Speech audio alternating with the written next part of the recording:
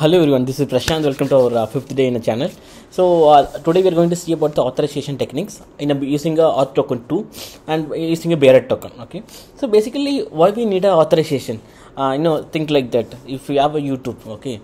So uh, if I'm creating a YouTube videos and uploading in my account, okay. If I'm I'm freely allowed everyone, what will happen? Anyone can come to my account. They can delete and they can update or any they can do any manipulations. So how to restrict? So that's why the youtube is giving the like login. Only i can log into my account. I can do the modification. So this kind of authorization techniques is we implemented in a rest okay? So today we are going to see one of the topic is, bearer token. So basically what is bearer token is so one kind of a string as a keyword we, uh, we need to use whenever we calling any apis okay when you seeing this diagram so you are the client okay? So you are sitting in it when you are going to access the your cloud like server. So in between we need some some one person to authenticate like you are have a right access. This to account. If you don't have access now they won't allow you to the account. So so for this we are going to use a uh, like bearer token. This is basically it's kind of auth token 2 okay in interview they will ask you what kind of authorization techniques you are using in a project. So we are using auth token 2 okay so next jump on to the topic so basically we are going to use this is the website. Uh, previously we used uh, in the sessions uh, the other apis but that is not that much reliable. So we are going to use this url so i will give you this url in the description. You can get it. And moreover what is our tester's job when i getting new requirements? We need to study on the documentations. So when when you're studying about this document so these are the first informations so whenever you're using this any apis from this website never give your original phone number or mail id or any personal details. Okay? Next thing is parameterize. Like we need to use these parameters. So i will teach in another classes how to pass the params. Okay? And third is very important. If we're using this apis for put post patch delete we need to have the authorization header. Previously we have studied two headers. What are the headers? One is accept next one is content type. From today we are going to study another header called authorization. In this authorization we need to pass the bearer keyword with token okay? So first of all you can ask me Prashant, where i can get token? So if you see in this website this is the below link get your access token. This is the link we need to use to generate a own token for yourself. So when you're clicking on this app it will open this app okay? So when you first time it will ask you to log in either using your github account or any gmail account it will ask you to log in once you log in you will get this is a token for myself. When you guys are logging in so you will get one token. Okay? This token only you need to use in your project like your in postman as well as automation. Okay? Right now we are we are going to do one like one post request in the uh, in our uh, in this live. Okay? So first of all what to do? We need to create a one new request. How to create new request? Click on the new button it will open the get request. Here i'm going to use authorization. Like it's a name. Authorization call. Then i'm selecting the folder course.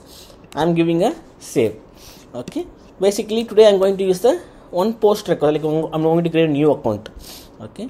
So where i will get the url if you see here this is the base url okay. I'm copying this url okay i'm giving this url next here if you see for the post request they are telling like we need to use this one. Okay so already we have public v2 user. So public version 2 user. So then we need to change the post. So i'm i'm removing extra spaces. Okay this is the thing. Okay. And so if i see here when i click on here these are the basic informations. What are the informations needed for one one new account we need to pass the ide name email address gender and status okay? So that only i'm going to use. When you click on this link now it will show you what are the information needed. So i'm copying this informations see here i'm copying this information. And i'm going to the body. And in the body i'm selecting a raw and selecting a json and i'm pasting it okay? So i'm using one curly braces in the front okay? This is done. And we as i said in the earlier we need to pass what thing we need to pass the authorization header. So i'm copying the authorization from here. So key is what? Authorization. And in this we need to type bearer. And what is a space? Next thing is what? I need to copy the my key. I'm copying this key and giving it in here. See this? First is bearer keyword and the token which is generated specifically for you. Okay you need to create a this token as the to login okay? So i have a content as well as this one okay? When i run here see this? What is the error is coming? So you need to study always study this thing okay? So this is 402 unapproachable like not processable. What is the reason? Already had a already uh, has already this email has already have a token. So what i need to do? I need to change this email id because this email id is the new one okay? So see this right now we got successful. We got a new id and we created everything okay? I think we don't want to pass the id only this four information is enough. Name email generator. So i'm going to give the another name like prashant. And mail id is test at gmail.com so test 1 2 3 4 5 i'm giving some numbers. And mail active. The status is active. When i send this request see this? The new id is generated and it has a name and given email id and mail and activity. So then what is the success code? 2 not 2 not 1 2 not 1 is what? To create. So something is created in the database. That's why 2 not 1 is coming. Okay? I'm coming to the next uh, i'm going to teach you another thing. Plus i'm clicking on a plus and clicking a get request. For the get request so what they telling? For the get request we need to pass this url okay same url see here same url i'm passing. And we need to pass the id which id we need to. So basically right now we created one account. This is the account. So i'm going to pass that id in this url okay. So previously i posted one new account. Right now i'm going to see the account okay? So message resource not found because we created a dummy account. So obviously this won't available in the thing. But uh, right now you can learn it. What is 404 404 status codes comes when the respective account it's not fi- finded in the authorization okay? When i'm giving uh, this uh, same authorization. Authorization uh, what uh, is this guy says say i'm copying this entire part and i'm giving this authorization. See this? When i give as authorization this time i get this document. Why? Previously anyone is coming at doing don't give. This account i created in my account in my access token. So let's like in my own account. So when i call this ide from my account only i can use. Think like that.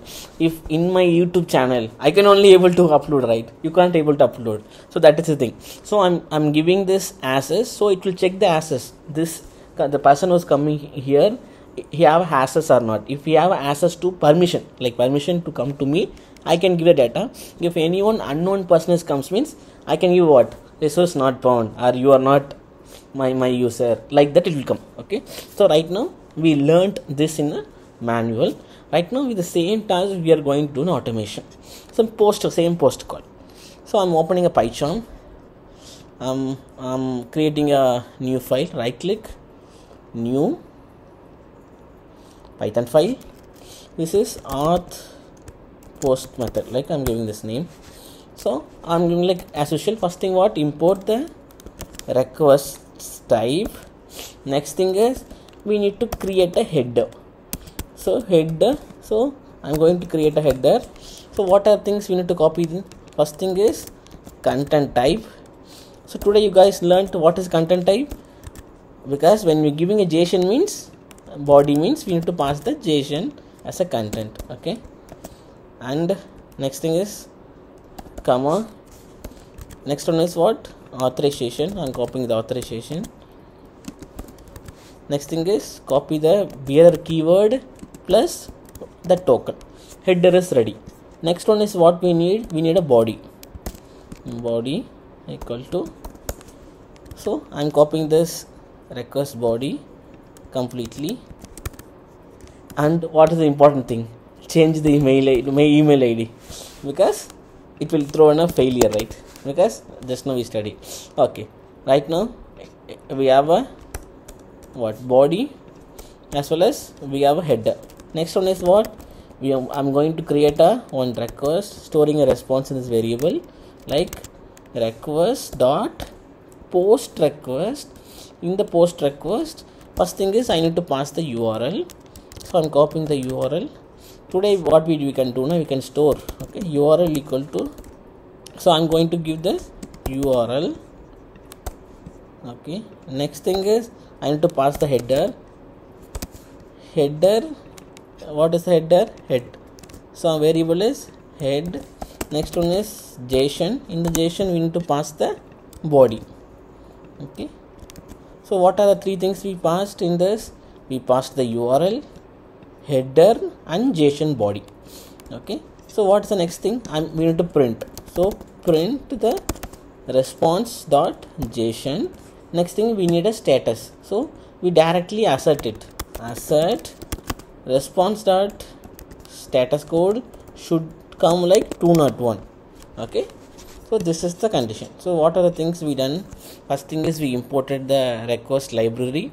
Next we have created a header for us.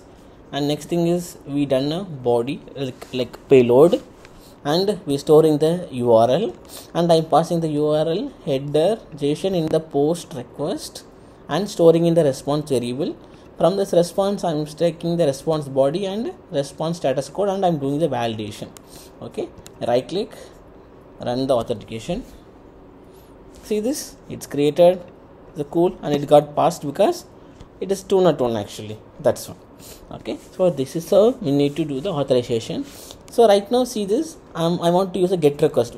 In the same so get response um, i want to create another call. Request dot get request. So the same. For request we need only one thing. Uh, only two things. One is the url next is header we need. Why we need header need? Because that has the authorization right? Next i in the plus in this url i want to give the what? I need to give the key the id so id from the res- previous response. Response in the response dot json in the json i need to get what? Id okay? So so what will happen? Url plus we need to have another one. Like what? This is the very important one. You guys want to learn. Slash.